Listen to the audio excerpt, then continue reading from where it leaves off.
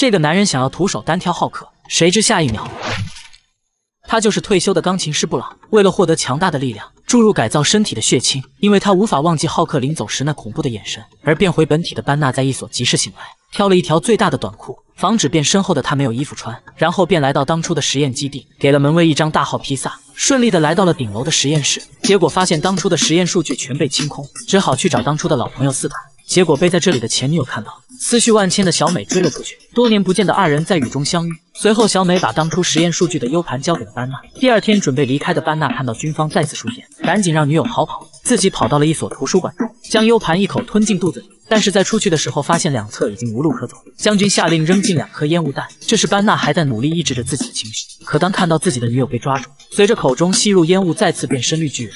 愤怒的浩克纵身一跃。随着一声怒吼，吓呆了众人。将军赶紧下令按照计划进行围剿，可普通的攻击对他丝毫不起作用，直接干翻一辆越野车，紧接着抓起一辆装甲车，愤怒的将车砸成稀烂。这时改造过的布朗发射榴弹炮，浩克抓过钢板作为盾牌掩护。虽然注射过血清，身体灵活，但还是无法伤害到浩克，只好将浩克引入声波炮的攻击范围。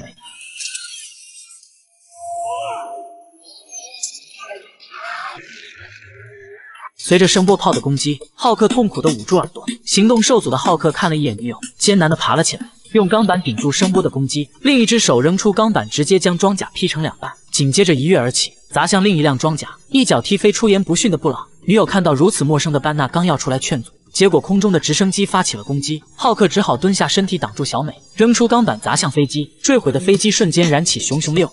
将军懊悔的看着大火将浩克二人吞没，下一刻浩克抱起了小美，怒视了一眼将军便离开了。再次醒来的浩克二人躲在了山洞中，决定前去寻找蓝先生解决自己的身体状态。